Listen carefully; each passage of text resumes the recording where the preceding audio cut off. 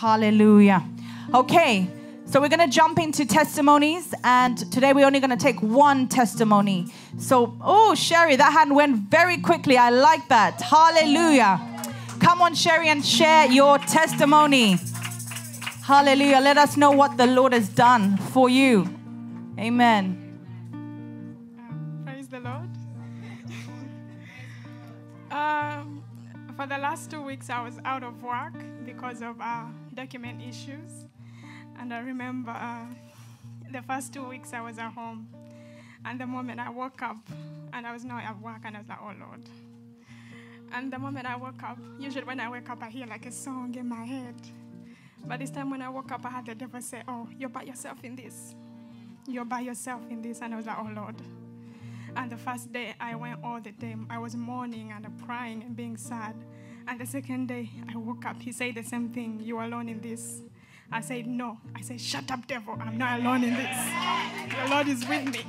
And and he, he, he never said it again. I never had that voice again. And then I said, okay, now it's time to move in faith. It's time to move in faith. And it's easier to say, you know, move in faith when you're not having problems. But when you get the problems, then you'll be like, oh, this is hard. But I said, I must move in faith. I must move in faith. So the whole two weeks I was praying, I was declaring. The first week I declared, I said, Lord, this week, next week, I must go back. They didn't respond. I was like, oh, Lord, you said when we declare a thing, it will be established. Why did it not work? Why? I said, that's fine.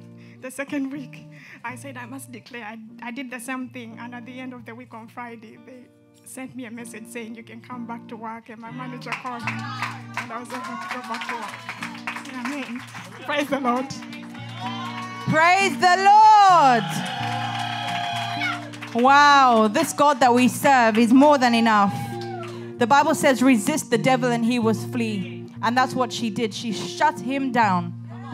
She had two ways. She could have gone with his lies and moped around and said, Yeah, okay, yeah, yeah. But she shut him down. I like that testimony. Declare the word. There is power in the word, there's power in declaration. That's why the Bible says that the power lies in our tongue. Hallelujah. Amen. Praise God. Thank you, Sherry, for sharing that.